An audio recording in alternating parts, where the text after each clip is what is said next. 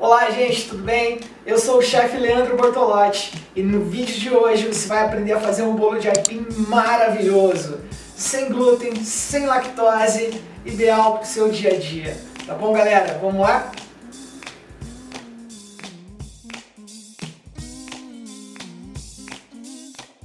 Bom galera, a gente vai precisar para essa receita 500 gramas de aipim triturado ou ralado, tá bom? Vamos precisar também de 100 gramas de coco ralado, uma xícara e meia de açúcar demerara, 50 ml de óleo de coco, 200 ml de leite de coco e 4 ovos inteiros. Bom, misture todos os ingredientes.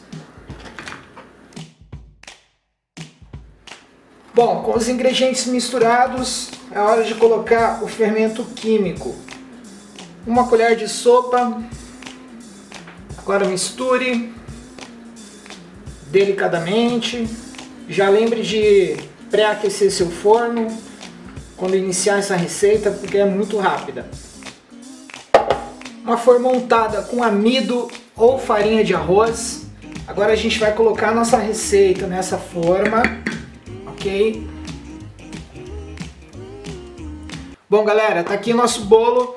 A gente vai levar ele agora para o forno, temperatura de 200 graus, aproximadamente 40 minutos, ok? Olha gente, que bolo maravilhoso! Depois de 50 minutos no forno, o que nós temos é essa maravilha de aipim. Beleza galera? Vamos degustar? Bom galera, gostaram da receita? Bolo sensacional, super fofinho, macio, gostoso e sem glúten, tá bom galera? Eu agora vou degustar essa maravilha, ok? Deixe nos comentários o que você achou dessa receita, tá bom galera? Beijos, fui!